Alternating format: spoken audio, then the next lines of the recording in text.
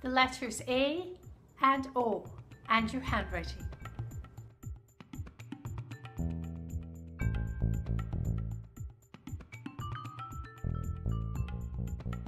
I'm Fiona MacKay and in this video we're going to look at the lowercase letters A and O and how they show in handwriting and what they mean, how the different strokes, the different ways of writing them, the different meanings that gives. We'll also take a look at the capital letters. So if you've ever wondered what your A and O mean or you'd like to change it and get something new, this is the video for you. So A and O in handwriting coming right up. The letters A and O and handwriting. The letters A and O are called circle letters since each of these letters comprises almost entirely of a circle. D and G are also included in this since they also have a circle as part of the letter.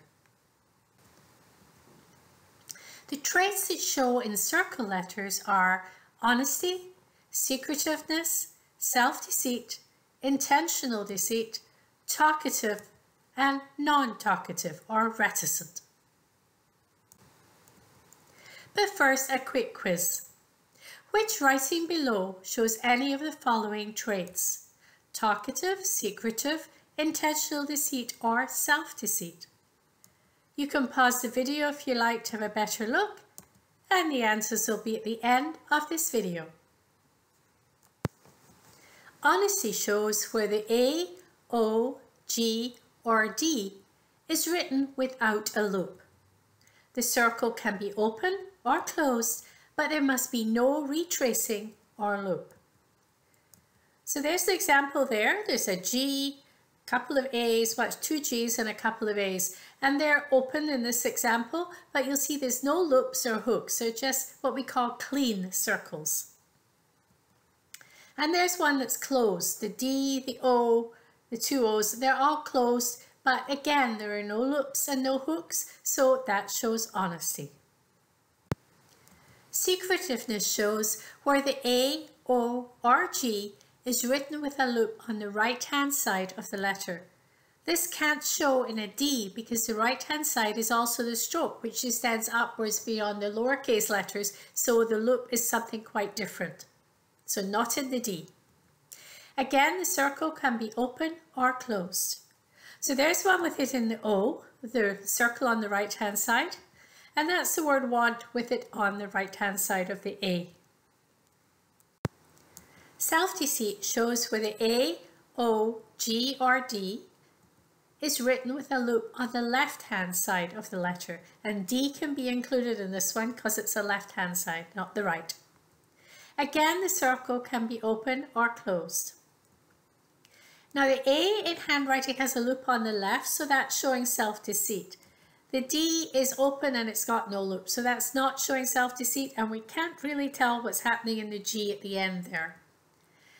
In the word hand, we'll see the um, self-deceit in the A with the loop on the left-hand side, and again, it's difficult to tell what's happening in the D. But that's self-deceit when the loop is on the left. Intentional deceit shows when the A, O or G is written with a loop on both the right hand side and another on the left hand side of the circle letter. This cannot show in a D because the right hand side is also a stroke which extends upwards beyond the lowercase letters. So just the A, O or G for this one. Again, the circle can be open or closed. There's the word how with a loop on both the left and the right hand side showing intentional deceit. And clearer even yet is only and any, the O and the A both have loops on both the left and the right hand side showing intentional deceit. Talkativeness shows when the A, O, G, R, D is written with the circle open. Whether or not there are loops doesn't matter for this trait, it only matters if, they're if the circle letters are open or closed. And there you'll see both an E and a D left open. And again, A's, two A's and a G left open. And here we've got an A and an O. So circle letters left open, talkativeness. So from that, it makes sense that non-talkativeness will show where the A, O, G, or D is written with the circle closed. Whether or not there are loops, again, doesn't matter for this trait. So there's all the loops closed in D, A, and two Gs. There's one, this has a mixture. The A in a round is open, the O and the D are closed. So that person that talks some of the time, but is actually better at listening. And this one is all closed, so again, non-talkativeness. Talkativeness and non-talkativeness, and non-talkativeness can also be called reticent. They're best when they're balanced. So you've got a bit of each. You've got some talkativeness and some non-talkative. This indicates that a writer who will both participate in conversation and listen to others. And there's the example again of a round. The A is open, the O and the D are closed. Capitals written the same way as the lowercase letters mean the same as if they were lowercase. Capitals that are printed indicate that the writer has artistic appreciation.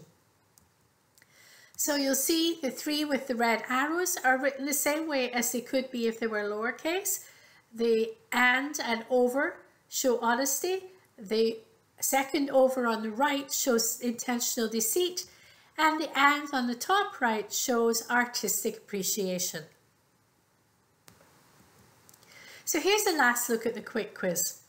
Which writing below shows any of the following traits? Talkative, secretive, intentional deceit or self-deceit. Again, you can pause the video if you like to have a better look and you'll have the answers in just a few seconds.